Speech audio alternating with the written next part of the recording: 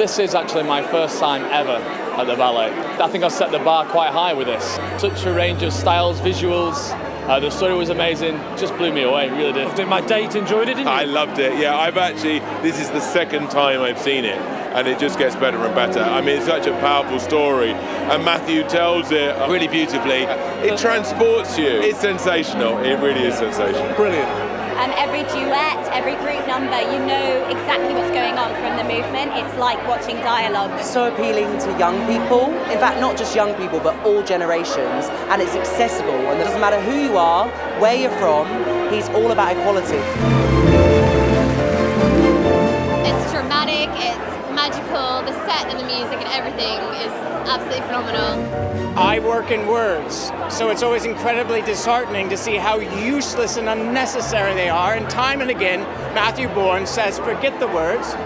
I'll teach you everything you need to know with movement and staging, and it makes your heart soar.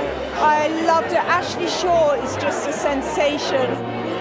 I got my niece, who's 15, tickets. She texted me and just said, oh my God, that was literally life changing. The genius about Matthew's work is that you could watch it a hundred times and every time you discover a different layer. This is about the 12th time I've seen this production. I love it so much. It's so beautiful. I was sat in the audience with so many people today that said that they really never saw dance, but they were blown away by this. First thing I did when the show finished, I texted Holty and said, you have to come and see this. It is amazing.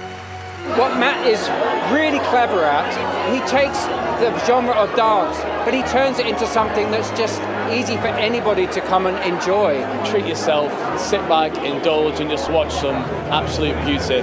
Matthew makes these things relevant because he makes them spectacular, he makes them sexy, he makes it sort of live in the now. If you want to escape for two hours, then this is your piece.